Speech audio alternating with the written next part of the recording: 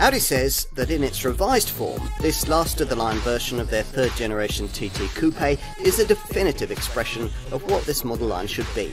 It's certainly true that this car is now more desirable than it's ever been, and in this film, we're going to find out why.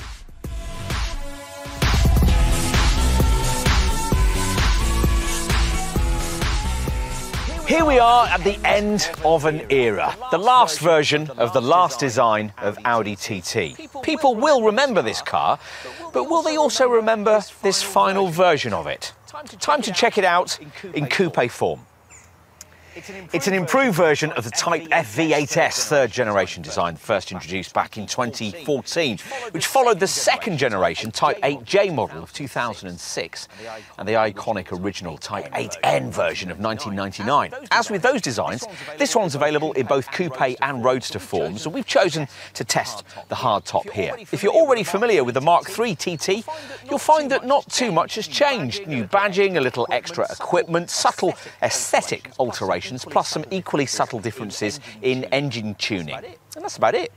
Not that there was much need to change things. Competition for the TT, particularly in this fixed top form, having evaporated like the morning mist during the model line's lifetime. Back at the turn of the century, the affordable coupe segment was populated by all kinds of volume brands Vauxhall, Fiat, Nissan, Volkswagen, Renault, and subsequently Seat and Peugeot too. Now, they're all gone.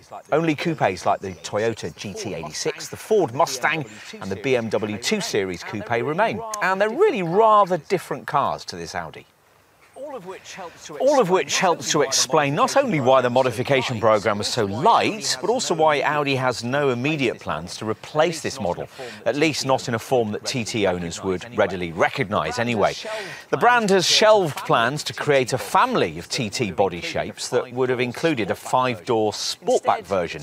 Instead, its resources are being directed towards the creation of an all-new electric sports car that will eventually replace this one. Either way, as we said at the beginning, we're looking at the end of an era here, a milestone marked by the package of midterm updates we're going to talk about in this film.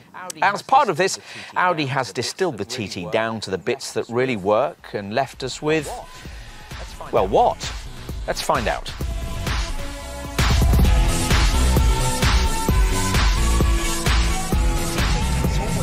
The TT has always been a relatively undemanding car to drive quickly. Well, almost always anyway. Back at the turn of the century, the very first model had a problem with lift-off oversteer, which led to a few customer crashes in the late 90s.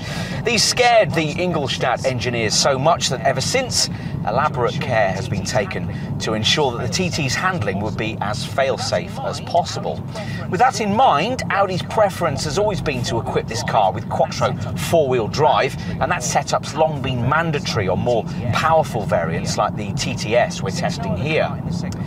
Since no other car in the segment offers the option of four driven wheels, that system, where fitted, gives this little coupe a unique calling card, especially for buyers in damper nations like ours.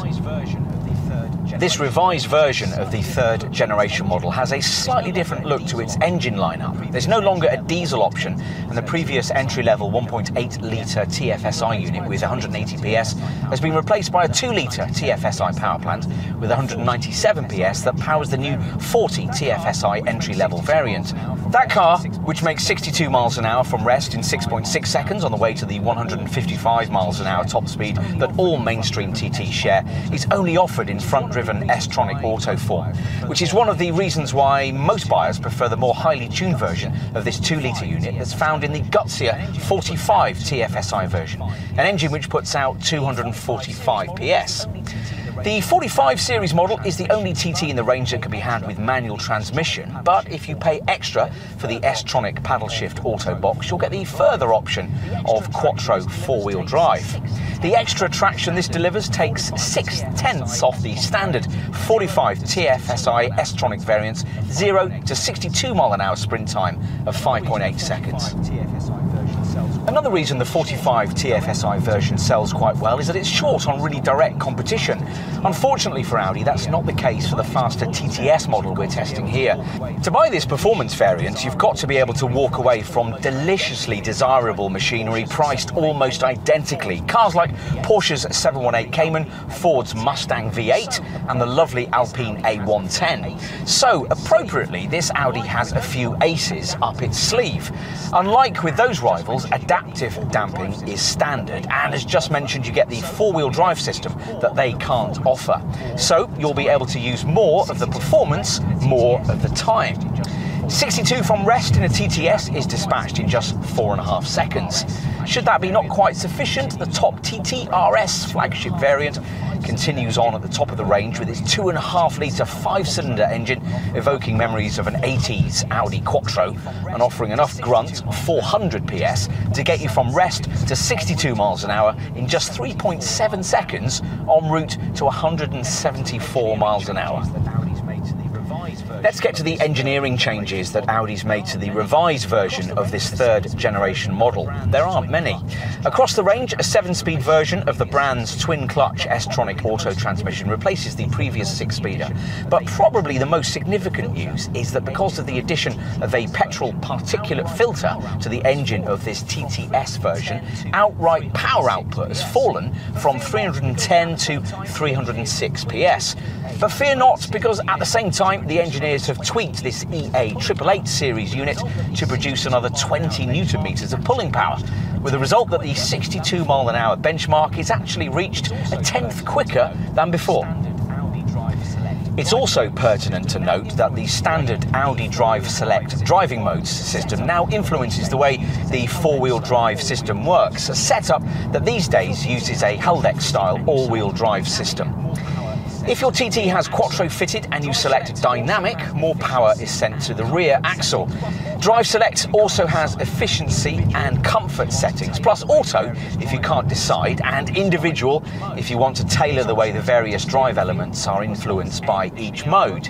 These options alter steering feel, throttle response, air conditioning output, stability settings, and where fitted, the shift times of the S-Tronic Auto gearbox. Plus, your chosen setting also affects the engine note that's pumped into the cabin via the stereo speakers. If your TT has the clever Audi Magnetic Ride adaptive damping system we mentioned earlier, standard only on the TTS and TTRS, the modes will affect ride quality too.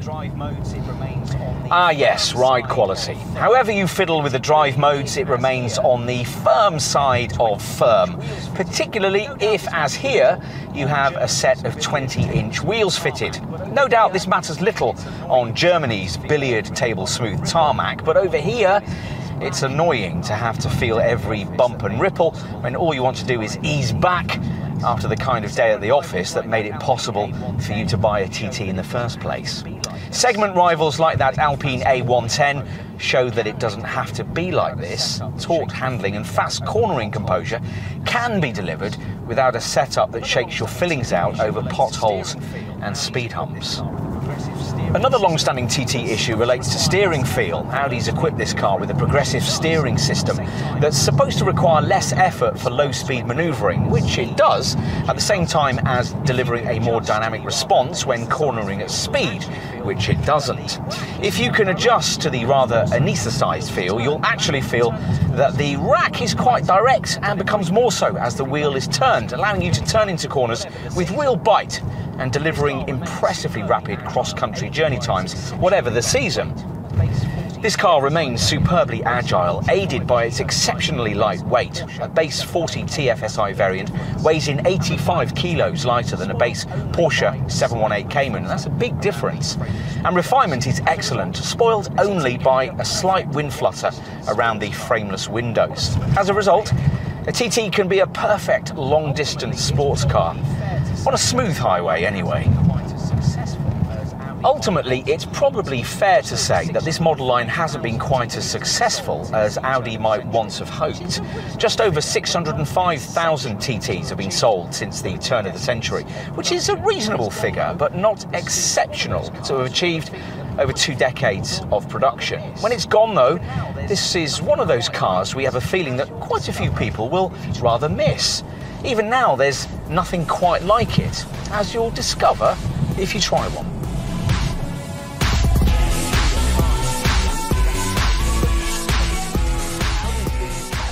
You don't need to be a car enthusiast to recognise the looks of a TT. Audi's been careful to ensure that this model's iconic silhouette has remained essentially the same ever since we first saw it in 1999. The modern version's more up to date, third generation take on that look appeared in both coupe and roadster form 15 years later, and it's been only lightly embellished as part of the changes made to create the revised model we're testing here. It's one of those cars you feel like you know before you even take a step towards it. So familiar are the TT styling cues. Look closely though, and if you happen to be familiar with the original version of this Type FV8S Mark III model, you might note the minor changes Audi's made here. Perhaps the most significant alteration is this smarter, three-dimensional version of the single-frame radiator grille. As before, this forms the starting point for V-shaped contours that sweep back across the bonnet and is flanked by razor-sharp headlights, which as here can feature Audi's adaptive matrix technology. Further down, there are larger new vertical corner air inlets, though because they're blanked off, they don't actually admit any air. If you avoid base sport trim, there's this smarter full-width lower front splitter too. From the side, this could only be a TT. The rounded wheel arches, curved windscreen pillars, bold shoulder line and sloping rear tailgate are all recognisable features, as are these unique stirrup-style door handles and this more powerfully sculpted lower door sill contour. Audi calls it the dynamic line that forms a light refracting edge and adds purpose to the car in profile. Plus, as ever with this model, you get this TT embossed fuel filler cap on the driver's side that opens with a light tap. Pull back the lid and there's no filler cap. Instead, the fuel nozzle is inserted directly into the tank neck, just like a race car. Detail changes from this perspective are limited to a revised portfolio of 18, 19 or, as in this case, 20-inch alloy wheel designs. At the rear, TT enthusiasts will note the addition of these fin-shaped flourishes below the tail lamps, which, in our view, rather spoil this area's previous styling purity, and perhaps also this remodelled lower diffuser, which incorporates two single-chromed pipes on 40 and 45 TFSI models, or two pairs of corner exhausts on this TTS or the top TTRS variant. Otherwise, the styling's unchanged, based around an interplay between light and shadow that intensifies around these strong long horizontal lines that define both boot lid and bumper. On most models, that boot lid incorporates a neat spoiler that automatically extends at 74 miles an hour and retracts again at 43 miles an hour. And go for a top spec Black Edition TTS or the flagship RS model, and that's replaced by a more prominent fixed rear spoiler. What's more important, of course, is the stuff you can't see, a structure that was described by one writer as a steel cake with an aluminium frosting. The allusion was to this car's so-called aluminium hybrid construction that uses steel underpinnings, basically the smallest version of the Volkswagen Group's latest MQB platform, allied to high-tech aluminium body panels. It's a good compromise solution, saving weight. This model easily tips the scales at under 1,300 kilos in base form, without making this car impossibly expensive for the Hungarian factory to produce. Historically, though, it's always been the TT's cabin that has been the most influential in selling this car to prospective buyers. Now, it looked good back in 2014, but interior designs moved on a lot since then. Does this Audi still set the class standard? Clean sheet cabin designers age so well that the Ingolstadt brand hasn't bothered to update it at all. In a word, yes, this Mark III model's clean sheet cabin design has aged so well that the Ingolstadt brand hasn't bothered to update it at all as part of the changes made here. If you weren't familiar with it before, you might get in and initially wonder what's missing. The wing-shaped dash is normal enough, but in its centre, the usual infotainment system screen and ventilation control panel are both missing, allowing for a sleek, minimalist design that continues to set this car's interior apart. Ventilation controls have been relocated to the jet turbine style air vents. Almost no one ever thought of that before. And as an option, these can also house small digital displays which show the chosen setting. All the functions you'd normally find on a big tablet style central display, meanwhile, have been incorporated into the 12.3 inch TFT virtual cockpit screen that replaces conventional instrument gauges.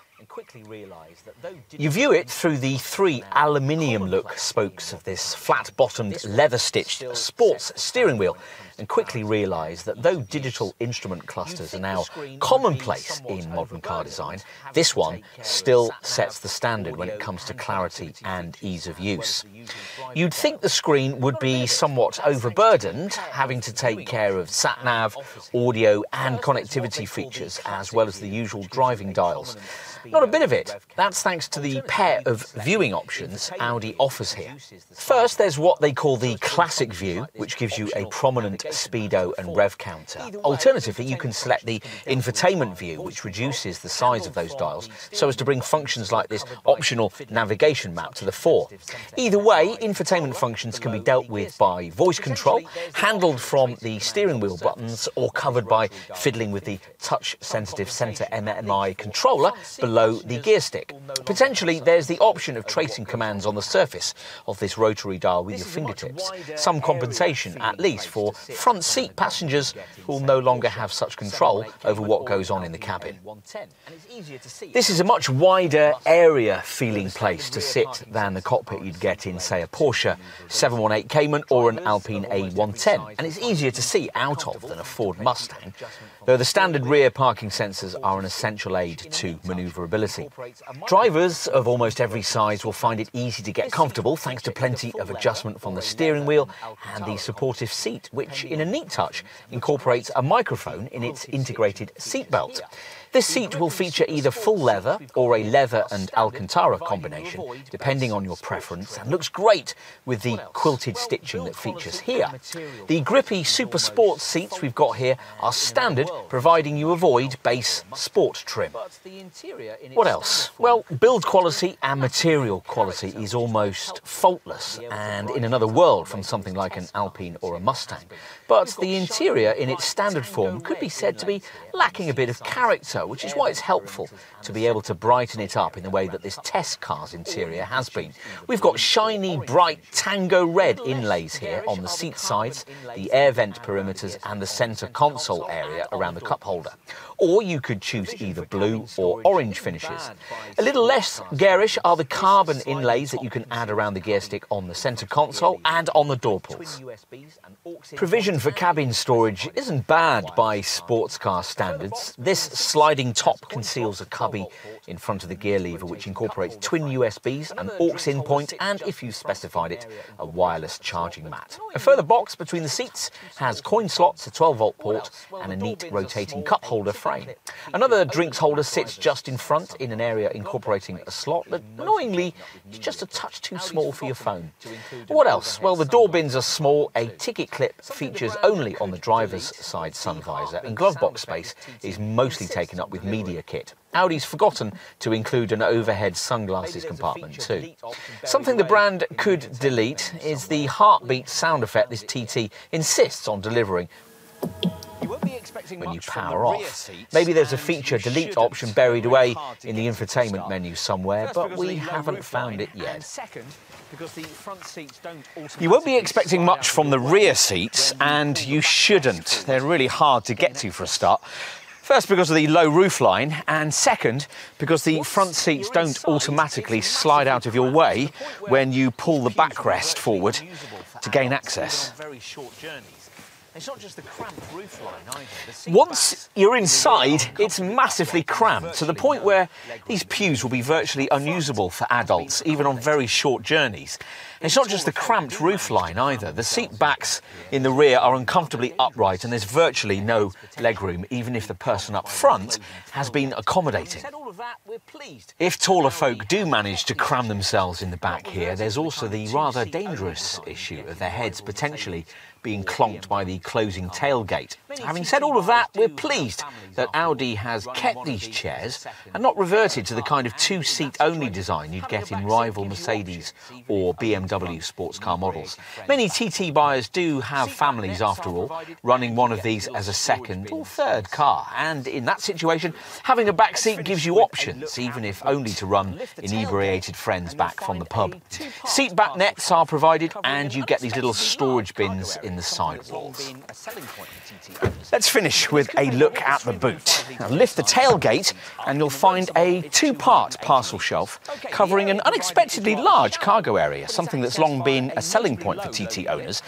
In this coupe model, it's 305 litres in size with the rear seats up. In the Roadster model, it's 280 litres. OK, the area provided is rather shallow, but it's accessed via a notably low loading lip, and what's on offer here is certainly big enough for three or four large bags. For the optional storage net, four tie-down points are provided, two of them body painted, and there's more space under this concertinaing boot floor, courtesy of the fact that no kind of spare wheel is offered. Audi's remembered to include a 12-volt port too. It's on this left-hand side wall. If you need more room, then flattening this 50-50 split folding rear backrest frees up a lot more of it, 712 litres to be exact. And it's a flat space with no annoying step in the extended boot floor. Audi reckons you could even slot a bike in here if you removed its front wheel first. Try doing that in any other little sports car.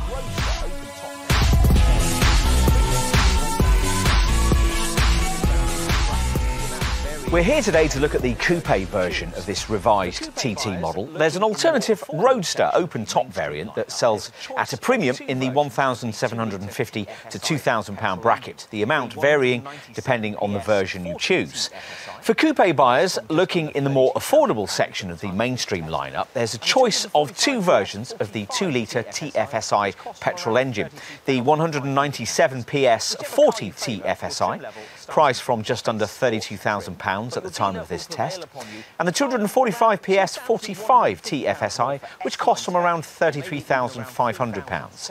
Whichever car you favour, your trim level starting point is base sport trim, but your dealer will prevail upon you to find around £2,150 more for S-Line spec, or maybe even around £3,750 more for Black Edition trim.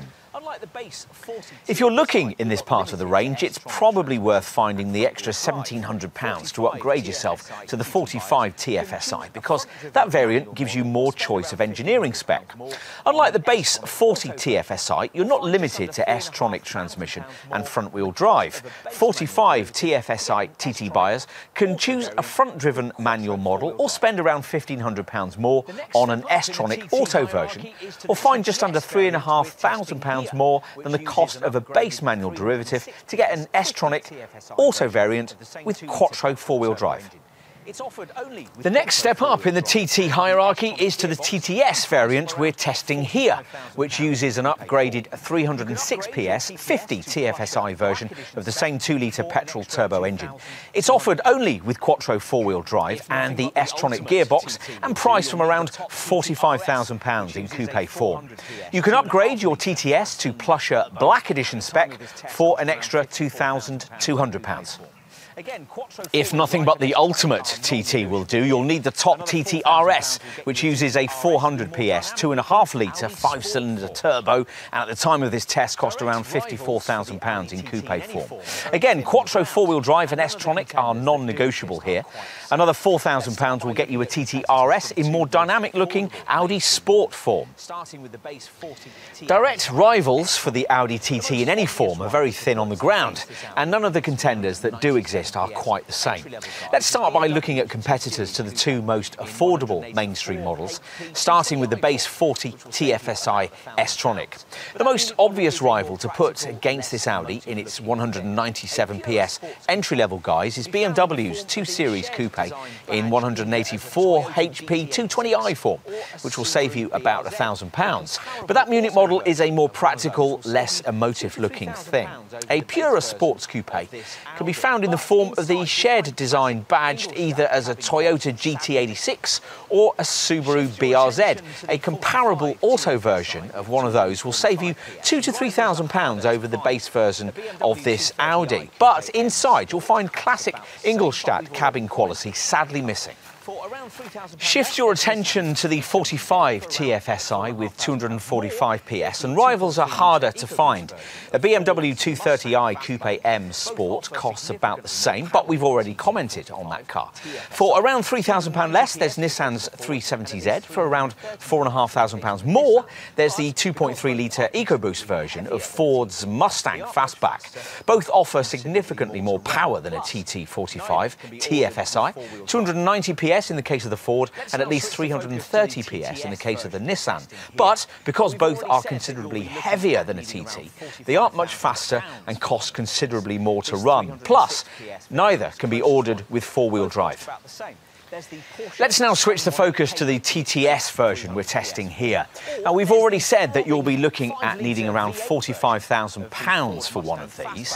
This 306 PS variant's closest rivals both cost about the same. There's the Porsche 718 Cayman in its base 300 PS form, or there's the throbbing 5-litre V8 version of the Ford Mustang Fastback, which offers 450 PS at the same kind of price point, but which, because of its prodigious weight goes hardly any faster than a TTS. As for other options in the TTS's price and performance bracket, well, for around £5,000 less, you might want to look at a BMW M240i, which offers 340 PS and will save you around £5,000. Or for around £2,000 more, a TTS buyer might also consider the Alpine A110, which puts out only around 250 PS, but keeps up with this Audi thanks to its light weight. Again, none of the rivals we've mentioned can be ordered with the four-wheel drive system that's standard on a TTS.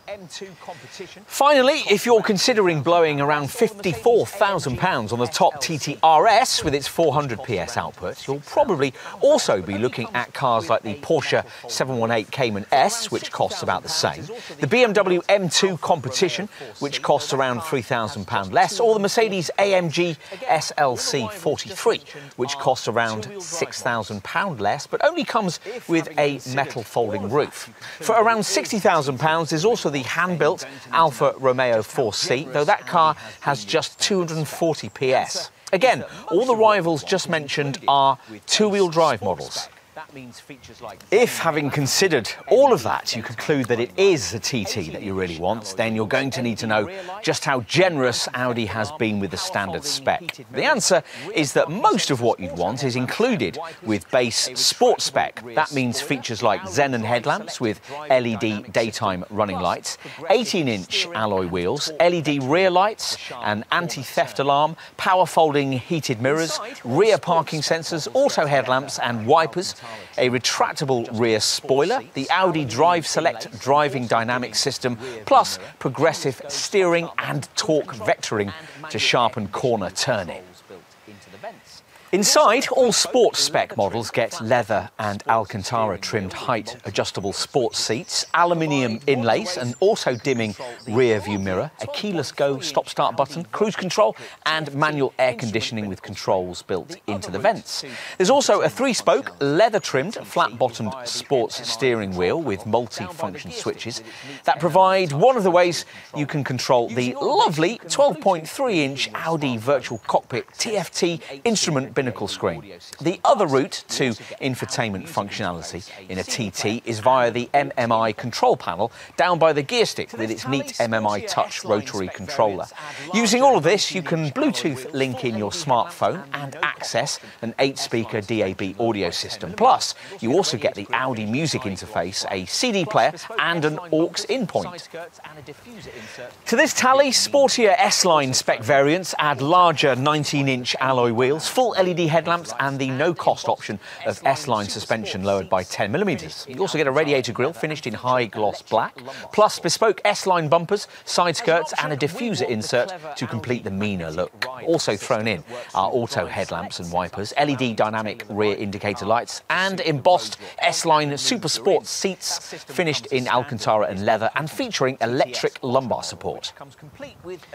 As an option, we'd want the clever Audi magnetic ride system system that works through the Drive Select setup to allow you to tailor the ride of your car to suit the road you're on and the mood you're in.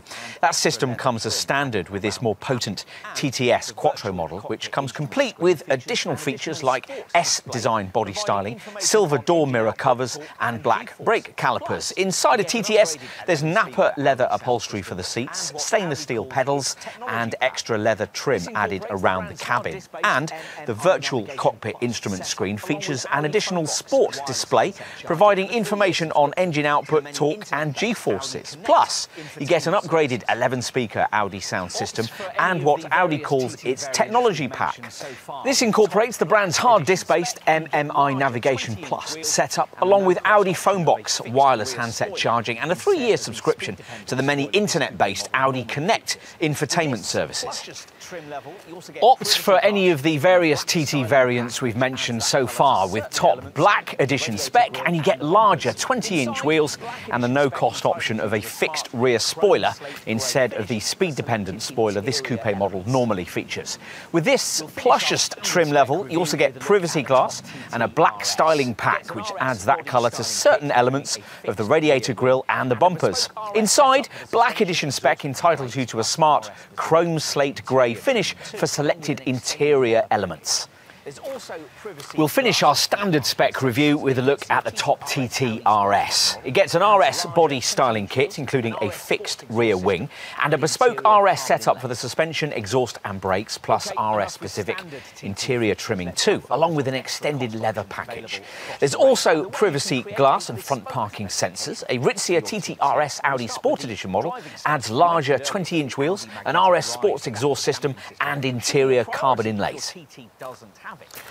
OK, enough with standard TT features. Let's now focus on extra cost options available across the range and the way you can create a bespoke specification for your TT. Well, we'll start with the driving stuff. We mentioned earlier that the Audi Magnetic Ride adaptive damping system should be a priority if your TT doesn't have it.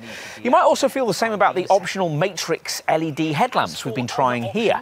These more powerful lights with their unique crystal-like shine feature 12 separate LED bulbs which dim individually when sensors detect oncoming or following traffic and automatically divert light around obstacles without the need to deactivate the high beam setting. As for other options, well, particularly popular features include front parking sensors, Audi's advanced key, keyless entry system, a reversing camera, and the brand's full house 680 watt Bang & Olufsen audio setup. All elements you can order either separately or as part of a combined comfort and sound pack. Other regularly ordered extras include headlamp washers, the full park assist setup that will automatically steer you into spaces, and electric seat adjustment, which comes with pneumatic backrest side bolster adjustment. We'd also want the lovely LED interior lighting package, which gives the cabin a beautiful atmosphere at night. And we think that the TT's clever vent-based ventilation system really needs the deluxe automatic air conditioning option package added in, which includes digital displays integrated into the controls. On a TT RS, you can have a sports exhaust, a vehicle tracker, and special high-intensity OLED rear tail lamps too. What you can't have on any TT is any kind of optional head-up display system. Audi doesn't offer that, thinking perhaps that the virtual cockpit layout would make it unnecessary. If you're looking at a 40 or 45 TFSI model, you'll be missing a few key equipment items that feature further up the range, so you might want to add these things in. Things like the 11-speaker Audi sound system and the extra sport section of the virtual cockpit screen. Plus, with these two mainstream models, you'll have to pay extra for navigation and Audi Phonebox wireless charging mat and the useful suite of Audi Connect media services. SatNav, wireless charging and Audi Connect can be packaged up as part of an optional technology pack. And if you go for this, you'll additionally have the opportunity to spend more on the Audi smartphone interface, which enables you to connect up to the infotainment system using either Apple CarPlay or Android Auto smartphone mirroring. The clever Audi Connect system is worth telling you a bit more about, a data transmission module that lets the driver network with the internet, infrastructure and other vehicles. The central component here is mobile phone preparation. The Connect setup will seamlessly interface with your mobile to provide an internet connection and allow passengers to conveniently surf and email with up to eight mobile devices via an integrated WLAN hotspot. This brings features such as navigation with images from Google Earth, Google Points of Interest search by voice control, and Google Street View. Connect also adds the Audi Music Stream system with web radio, plus access to social media services such as Facebook and Twitter.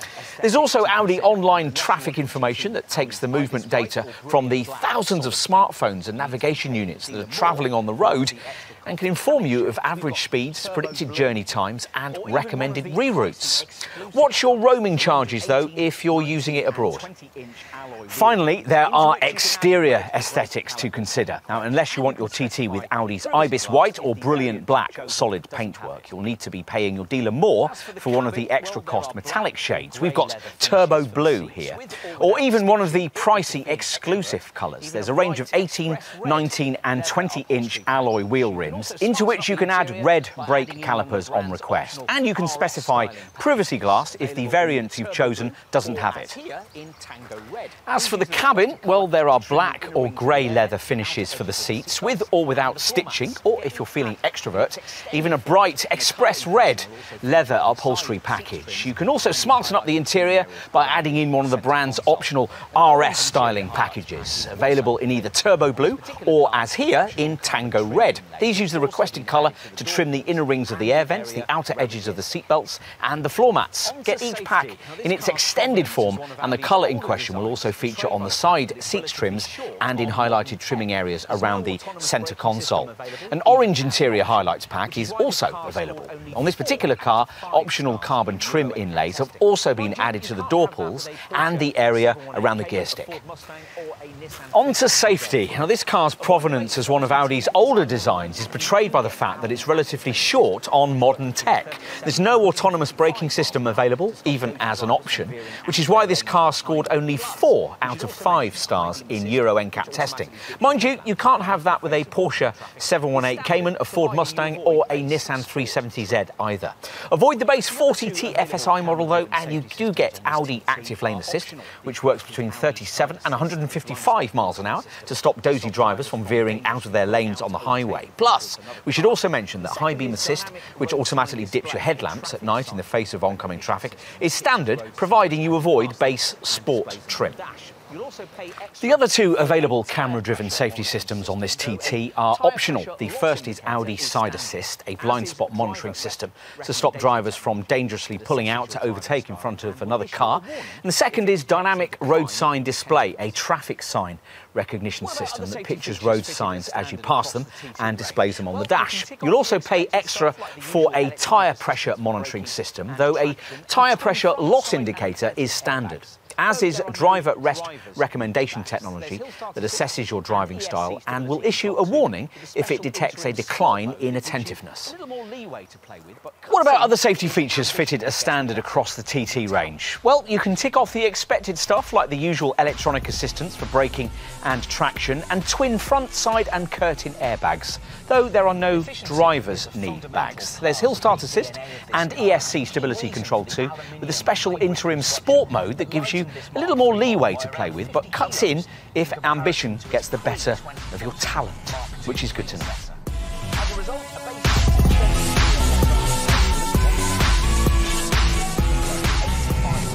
Efficiency is a fundamental part of the DNA of this car and a key reason for the aluminium hybrid construction that lightened this Mark III model by around 50 kilos in comparison to its pre-2014 Mark II predecessor. As a result, a base TT40 TFSI weighs just 1,250 kilos, 85 less than a Porsche 718 Cayman, and over 400 kilos lighter than a base Ford Mustang Fastback. All this explains why this third generation TT remains so cost effective to run, even though Audi no longer offers it in diesel form. Let's get to the figures for the TT Coupe, which, as usual, will quote with WLTP rated stats for economy and NEDC rated figures for CO2. These see the 40 TFSI return up to 40.9 mpg on the combined cycle and 138 grams per kilometre of CO2 in front driven S-tronic form, the only variant available. Switch to the 45 TFSI and you're looking at up to 39.8 mpg and 150 grams per kilometre for the manual, and up to 39.2 mpg and 147 grams per kilometre for the S-Tronic Auto, and up to 35.3 mpg and 160 grams per kilometre for the S-Tronic Quattro. This TTS Quattro S-Tronic manages up to 35.3 mpg and 161 grams per kilometre. And the top TTRS Quattro S-Tronic returns 31 mpg and 181 grams per kilometre. Of course, lightweight isn't the only reason why these figures are class leading. The EU6d-TEMP compliant engines now feature a petrol particulate filter for reduced exhaust emissions, and intelligent thermal management with rotary valve control ensures the optimum balance between minimal friction and high thermodynamic efficiency. Plus, the curvy bodywork achieves a slippery 0.29 CD drag coefficient, and the S-Tronic Auto features a fuel-saving freewheeling function activated when the Drive Select vehicle dynamic system is set in its efficiency mode and you come off the accelerator. On top of that, there's brake energy recuperation, which recycles energy you'd otherwise lose when braking or cruising, and a very effective stop-start system that cuts the engine when you don't need it, stuck in traffic or waiting at the lights. On to residual values. Now, these tend to be strong on any Audi, but particularly so when it comes to the TT. Independent experts CAP Monitor reckon that after the usual three year or 60,000 mile ownership period, a TT45 TFSI Sport Coupe S-Tronic Quattro model will retain 40.1% of its original value, marginally better than a comparable BMW Z4 S-Drive 30i Sport Auto. As for this TTS Coupe Quattro model, the residual value after the same period would be 43.1%. That's some way behind a rival Porsche 718 Cayman PDK at 52.2%, but it's marginally better than you get from a BMW Z4 M40i at 39.9%. What else? Well, there's an energy consumers section on the dash display that shows you which cabin elements are drawing upon running cost efficiency, and a servicing section too, telling you when the next garage visit's due. On the subject of regular maintenance, service intervals are up to 19,000 miles or two years on the default variable regime for all TT models. Overall maintenance costs can be kept down if you go for one of the prepaid servicing plans you'll be offered at initial purchase, which can cover you up to a maximum of five years and 90,000 miles. You may also be interested to know that this car can even book its own service appointments via an Audi Connect safety and service system app, as well as providing emergency calling and online roadside assistance. This feature can, at the appropriate time, send a service request direct to your local dealer.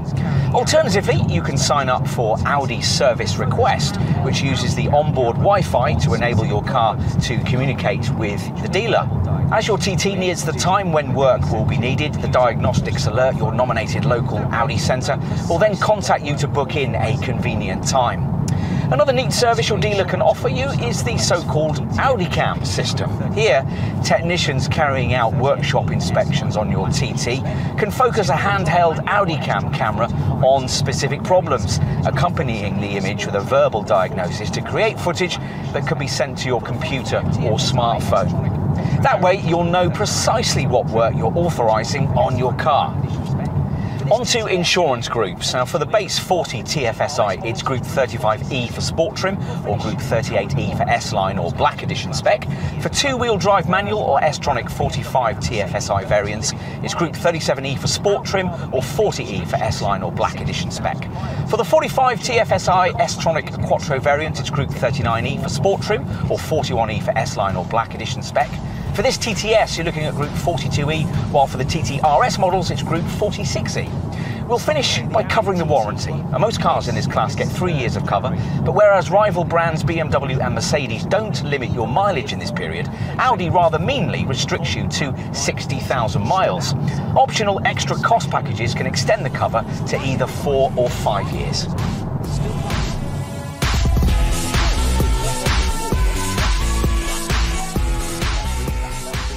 Some say the Audi TT won't be missed when this third generation model eventually ends production. We disagree. Even when the affordable coupe segment was full of volume branded rivals, the TT stood out as something a little special and different. In this lightly revised form, the Mark III design still does. Of course, if you didn't want one before, nothing's been done as part of this midterm revamp that will be particularly effective in changing your mind. But if you were previously wavering, the updates made here, combined with the news that the current TT's days are numbered, could be enough to get you into the driver's seat. Well, you'll find a slightly more engaging driving experience and a simpler set of buying options. As for issues, well, they remain pretty much as they were before. The TT's appeal to loyal buyers is that it's so everyday usable and easy to transition into from an ordinary family car. But by the same token, that creates a car that's less involving and less of an occasion to drive than, say, something like a Mustang, even if you go for this performance orientated TTS variant. Really powerful versions like this and the top TTRS derivatives are difficult to justify against similarly priced Porsche 718 Cayman models too, unless you really value the Audi's inclusion of Quattro four-wheel drive. Ultimately though, there's still nothing quite like a TT. and Perhaps there never will be.